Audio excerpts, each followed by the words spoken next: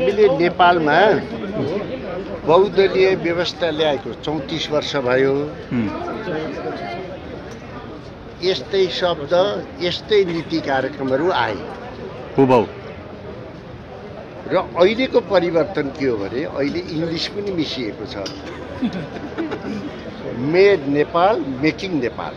हा, यही मिसिएको छ। आजसम्म जे जस्तो हुन्थ्यो त्यस्तै छ। के नयाँ कुरा के नयाँ उत्साह नयाँ विषय केही पनि छैन। जबसम्म संसदीय छानबिन समिति बन्दैन हामी सरकारी काममा प्रवेश गर्दैनौँ। सरकारको- नीति कार्यक्रमको बारेमा प्रतिक्रिया सरकार- दिनुहोस् न। सरकारको नीति तथा कार्यक्रम एकदम परम्परागत छ। आजसम्म जे जस्तो हुन्थ्यो त्यस्तै छ। के नयाँ कुरा के नयाँ उत्साह नयाँ विषय केही पनि छैन बरु के महत्त्वपूर्ण कुराहरू छुटेका छन्। जस्तो यो नीति कार्यक्रमले आर्थिक सङ्कट दूर हुन्छ त? भन्दैछु के आवश्यक कुराहरू जस्तो छुटेका छन्? जस्तो उदाहरणका लागि अहिले विश्वव्यापी रूपमा नै जुन आर्थिक मन्दी आएको छ अर्थतन्त्रमा सङ्कुचन छ यसका बारेमा यो नीति कार्यक्रमले मुलुकको अर्थतन्त्र कसरी अगाडि बढ्छ कसरी विस्तार हुन्छ भन्ने कुराका बारेमा कुनै ठोस नीति लिन सकेको छैन। अर्थतन्त्रमा त सुधार भन्ने आयो। कुनै ठोस कदम छैन कसरी यसलाई चाहिँ त सुधार गर्ने भनेर? जस्तो सहकारी ठगीका बारेमा यत्रो कुरा उठेको छ लाखौँ जनताको अरबौँ रकम हिनामिना दुरुपयोग अवचलन र ठगी भएको छ सहकारी मार्फत। यत्रो मानिसहरूलाई पीडा छ जनतालाई नागरिकहरूलाई। अहिलेको नीति तथा कार्यक्रमले सहकारीमा बचत गरेका मानिसहरूको मर्कालाई यसले सम्बोधन गर्न सकेको छैन।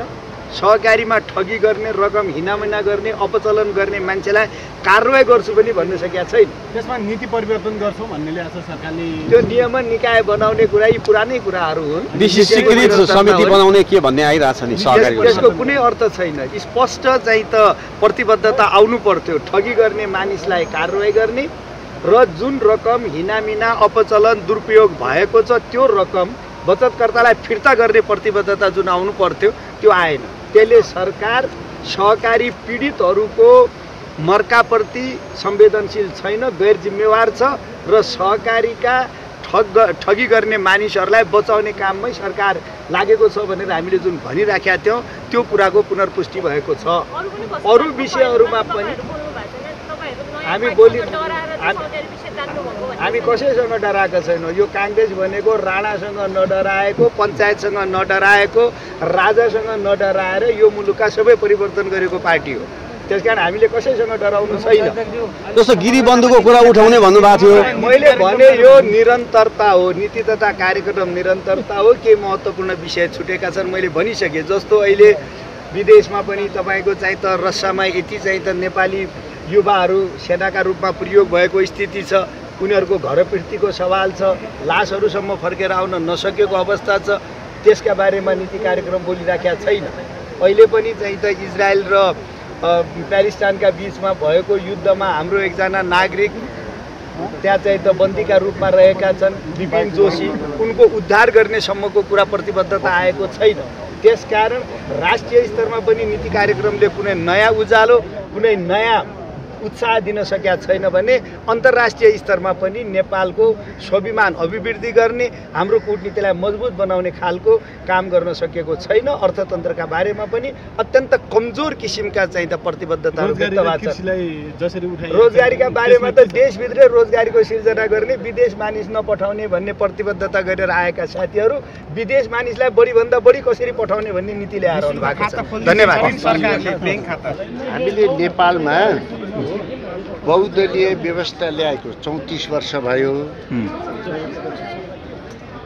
यस्तै शब्द यस्तै नीति कार्यक्रमहरू आए। हुबौ र अहिलेको परिवर्तन के हो भने अहिले इङ्ग्लिस पनि मिसिएको छ। Made Nepal making Nepal. हा, यही मिसिएको छ। हामीले चौतिस वर्षसम्म पढिएका नीति कार्यक्रमको बिस पर्सेन्ट पनि लागू गरेको भए यो मुलुक यो स्थितिमा हुन्थेन धेरै विकसित हुन्थ्यो युवाहरूले मुलुक छोड्नुपर्ने अवस्था थिएन। त्यसकारण विगतको अनुभवको आधारमा राम्रो भन्नु पनि छैन नराम्रो भन्नु पनि छैन। सक्षम मान्छेहरूको हातमा मुलुक परेन। त्यस कारण जति राम्रो पढे पनि भोलि बनेन भने यसको के अर्थ भयो र? म आफैले यो लामो समय भोगिरहेको छु भने अब हामी कार्यान्वयन गरौँ। सबैले प्रतिबद्धता व्यक्त गरौँ यो मुलुक बनाउने नीति कार्यक्रम लागू गर्ने प्रतिबद्धता व्यक्त गरौँ।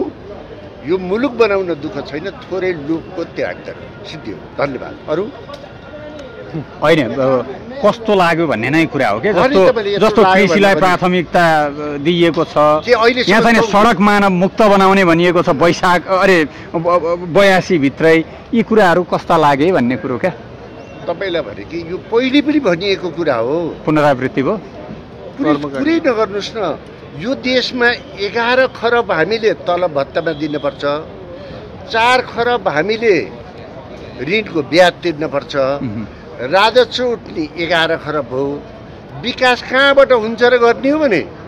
पहिला त यसको निर्वाचन प्रणालीमा परिवर्तन गर्न पर्यो खर्च कटौती गर्न पर्यो। यो नीति कार्यक्रममा न खर्चको कटौतीको कुरा छ न व्यवस्थित योजनाको कुरा छ। यो अहिलेलाई मात्रै भनेको होइन। विगतदेखि अहिलेसम्म निरन्तरता छ। मुलुक त बनेन नि। यति कुरा हो। जस्तो अब काङ्ग्रेसले पटक पटक संसदमा अवरुद्ध गरिराखेको विषय तपाईँ आफै हेरिरहनु भएको छ। यो पटक के होला भन्ने कुरा थियो अब नीति अब यो पनि तपाईँलाई मैले बताइदिएँ। नेपाल जहिले पनि ठगिरहेको रहेछ। नेपालीहरू जहिले पनि ठगिएका छन्। प्लान भएर ठगिएको छ। अहिले सहकारीबाट चालिसवटा ठग सहकारीबाट दुई खरबभन्दा बढी जनताको बचत ठगिएको छ।